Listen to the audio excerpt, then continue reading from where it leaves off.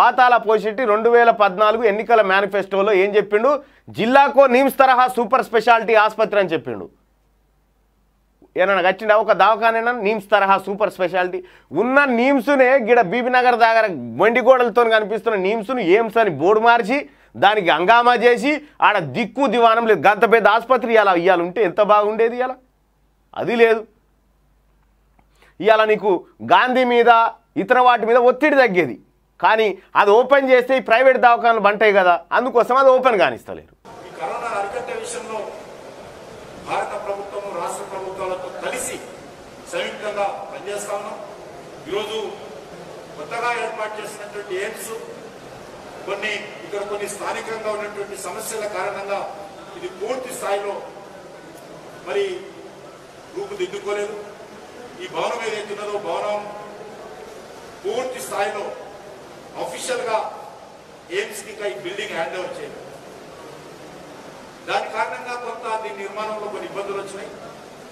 అది నిమ్స్ హాస్పిటల్ ఏదైతే దీనికి ముందు నిర్మాణం చేసిందో నిమ్స్ ద్వారా కానీ రాష్ట్ర ప్రభుత్వం ద్వారా కానీ ఎయిమ్స్ ల్యాండ్ మాత్రం ట్రాన్స్ఫర్ అయింది కానీ బిల్డింగ్ పూర్తి స్థాయిలో ట్రాన్స్ఫర్ కాలేదు.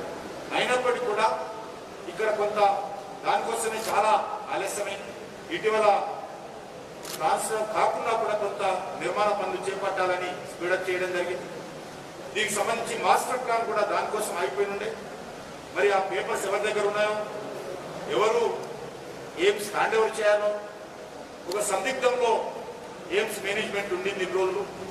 చివరకు అది ఏదైతే అది అవుతుంది ఆలస్యం అవుతుంది వెంటనే దీనికి సంబంధించినటువంటి పనులు వేగవంతంగా ప్రారంభించాలని కేంద్ర ప్రభుత్వం నిర్ణయం తీసుకొని master plan.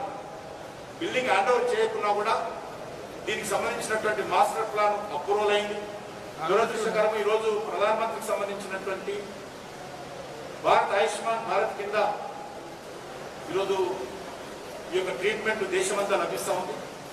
కాబట్టి ఆరోగ్యశ్రీ కింద ఆంధ్రప్రదేశ్లో ఆరోగ్యశ్రీ కింద ఈ యొక్క కరోనా పేషెంట్స్కు ట్రీట్మెంట్ ఇస్తా ఉన్నారు.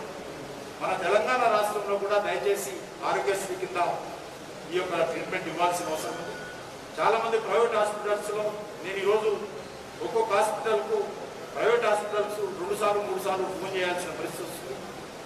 మా యొక్క సిబ్బంది కానీ మేము కానీ హాస్పిటల్కు ఫోన్ చేయని రోజు ఉండదు ఒకటి బెడ్స్ కోసం ప్రయత్నించాలి. సీరియస్నెస్ విషయంలో ప్రజలకు వైద్యం అందుబాటులో ఉందేమో ప్రయత్నం చేయడం. ఆ తర్వాత విపరీతంగా వేస్తున్న ఛార్జీలను తగ్గించేటువంటి ప్రయత్నం చేస్తాం. కాబట్టి అదే ఆరోగ్యశ్రీ వచ్చినట్లయితే అటు ప్రజలకు కానీ ఇటు ఆసుపత్రులు కానీ ఇబ్బంది లేకుండా అందరికీ ట్రీట్మెంట్ జరిగేటువంటి అవకాశం ఉంటుంది కాబట్టి ఆరోగ్యశ్రీ కింద తీసుకొస్తే బాగుంటుందని చెప్పి